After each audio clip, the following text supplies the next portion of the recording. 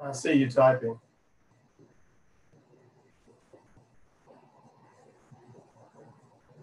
But I can't hear you.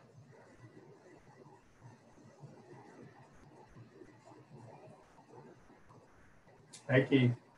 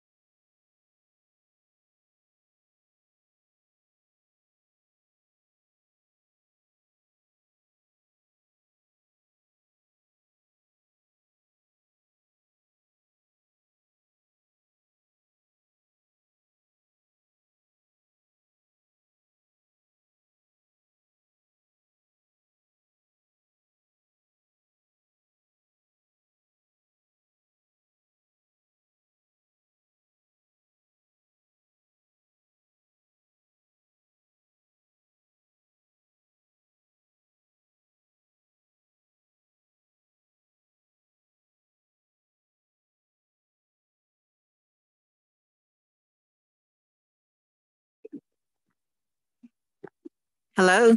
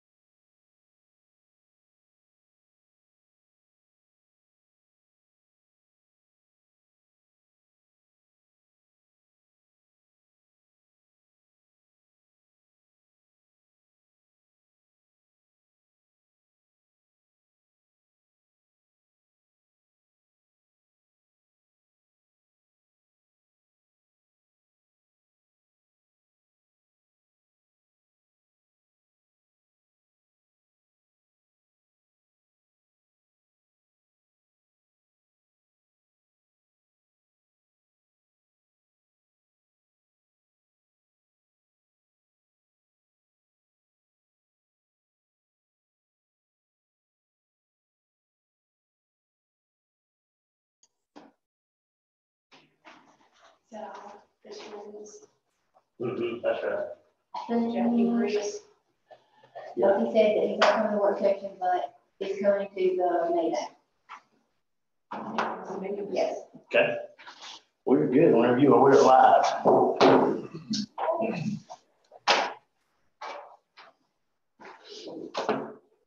All right, it's five o'clock and we are going to go ahead and open up the work session.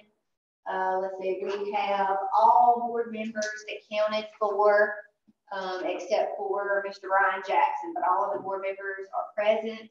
So I'm going to go ahead and move to number two, which is, um, finance department. Um, does anybody have any discussion or any comments there?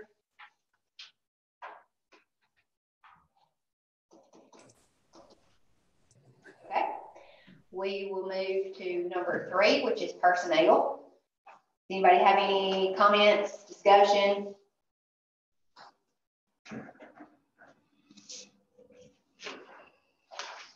Okay, uh, we'll move to the consent agenda. Does anyone have any comments or questions there?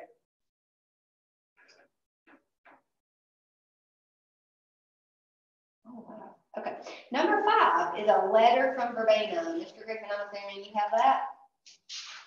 Oh. Don't have anything. It's on the, Yes, I'm here. That's right. Mhm. Yeah, Let me, pull that real quick.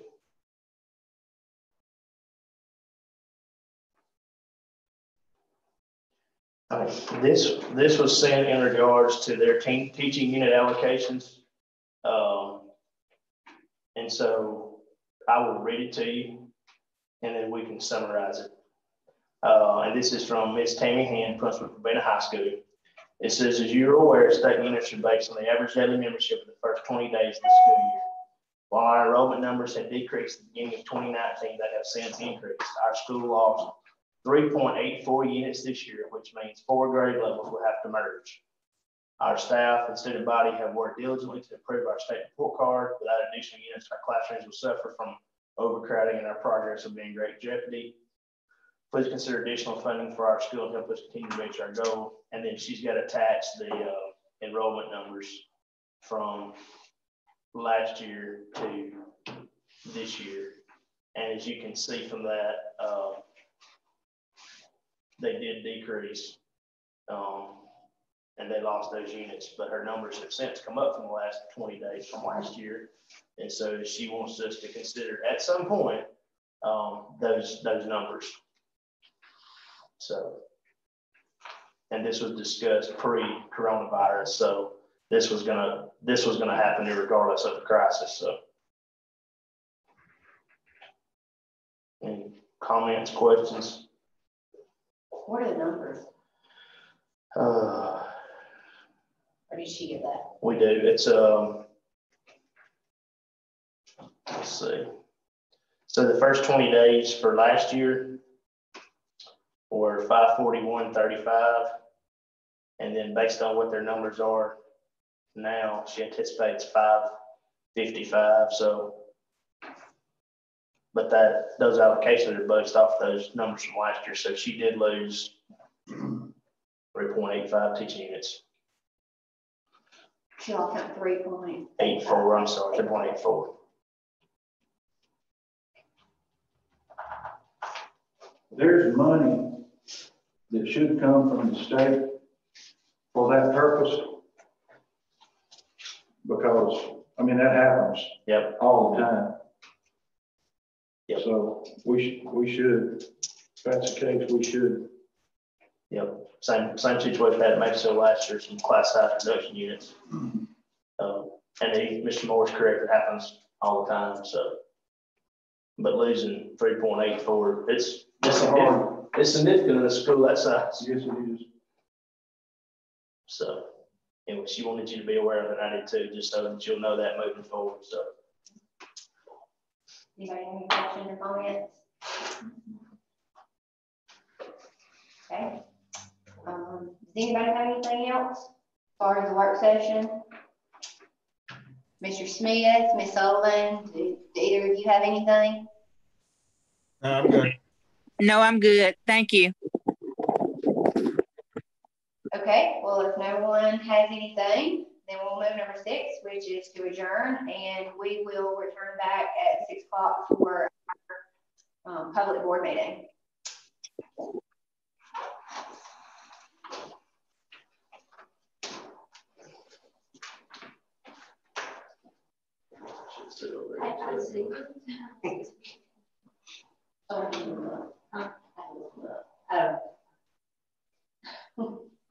I'm gonna go to my office, but I'll Okay. back.